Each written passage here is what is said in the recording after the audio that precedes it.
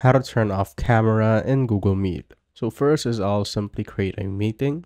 And to do that, just simply click on new meeting right here, then start an instant meeting. And as you can see currently, my camera is open. And if you want to turn it off, you just simply need to click on the camera icon here at the bottom. As you can see, there's this option to turn off the camera. So if I click on it, it will automatically turn off the camera. And there's also a shortcut for it. So if you click on Control plus E on your keyboard, so it's basically a shortcut or a hotkey to turn your camera on and off. So as you can see, I can do that without clicking it, just like that. And if you want to completely turn off your camera or disable it, you just simply need to go here on the top, just besides the website URL.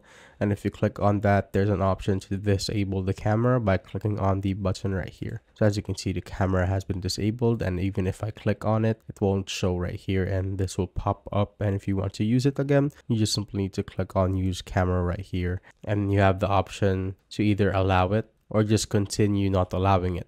And that is how you basically turn off the camera in Google Meet.